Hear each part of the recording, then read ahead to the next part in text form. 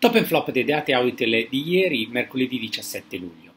Nella giornata della scomparsa di Andrea Camilleri, papà del commissario Montalbano, grandissimo scrittore siciliano, eh, Rai 1 ha riproposto Conversazioni su Tiresia, eh, spettacolo teatrale che era già andato in onda eh, sulla Miraglia Rai eh, a marzo e ha raccolto 2.400.000 spettatori. Ieri invece eh, Auditel eh, ha registrato solo 1.700.000. Eh, quindi eh, c'è da dire che gli italiani non hanno risposto al, al cordoglio, alla commemorazione eh, di Camilleri, purtroppo, quindi per noi di fatto è il flop della serata.